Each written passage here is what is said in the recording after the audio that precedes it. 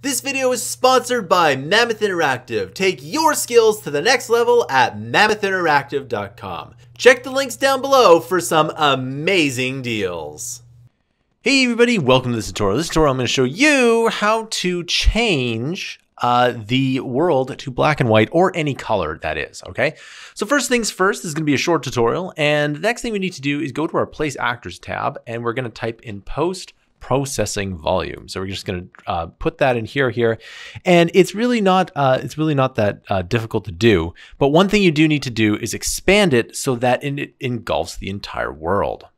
That's pretty easy to do, but you got to scroll all the way down here and says extend infinite. And what that will do is that will extend everything uh, to the infinite here. Now, the post-processing volume has a lot of things in it, but what we're going to be looking at specifically today is the saturation.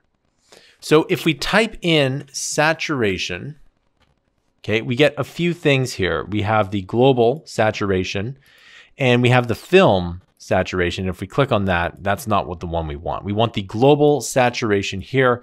We're going to click on that and you can actually do a bunch of cool things here. Um, you can change uh, everything, but what we want to do is we're just going to change uh, basically everything to zero. Now I know, as you can see, it does change to black and white, but let's just, um, but what you can also do, by the way, is you can change it so that like, um, you know, it can be one or the other, right? So you can change it up to different colors and that's a, definitely a different color, right? And if you want to, you know, change that here, right? Just like so, or this, so you only have red. All right, and so you get the idea. Now, one thing let's do before we go on here is let's click on the on the ground here. And we and we don't want to click yeah, on the floor instance here. And what we want to do is we want to go into the materials here and double click this cube. And let's change this cube to a nice, nice red. A nice red will do. And then you can always do that here. And I think that's perfect. So it, what we'll do is we'll save that. It'll give it a couple of seconds, but nevertheless, it's going to uh, change here. I'm just going to pause it because this takes a while.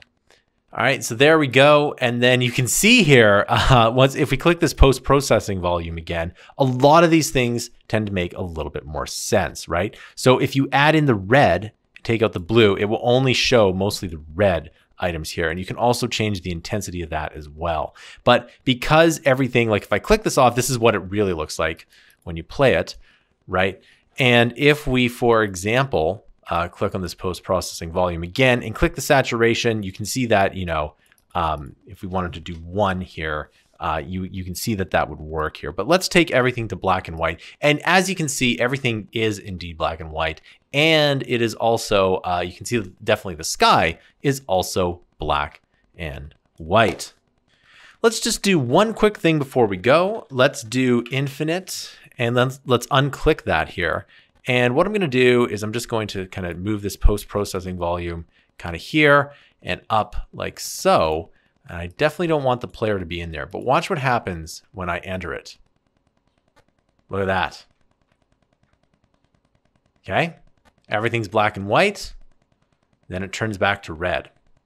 Pretty cool stuff right? So that's how processing processing volumes work. They don't have to be uh, extended to the infinite, but most often you do use these process post processing volumes uh, because I'm just going to make this a little bit bigger here. But uh, the, the number one reason why you do use them is to make your game look good. There's other things like lens flares that you can do with it. But in this case, we're just changing the color, which I think is the best game mechanic in my opinion. And as you can see, everything does change in this particular um, uh, when you're in this post-processing volume.